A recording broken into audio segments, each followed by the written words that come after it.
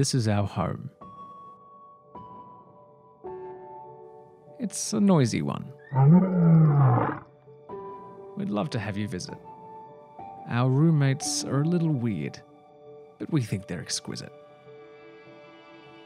The garden needs a little work, and the traffic can be heavy. But we've got everything you need and views that you will envy.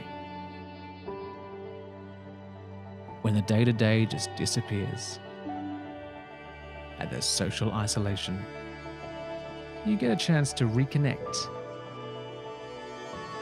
And spark imagination. When scary things are outside the fence, it's probably best to hide, but there are comforts to be had when sheltering inside. This is what life is all about. This pure simplicity of real connection, exploration, and a well made cup of tea.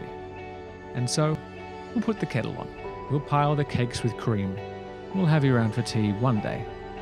But today, just pause and dream.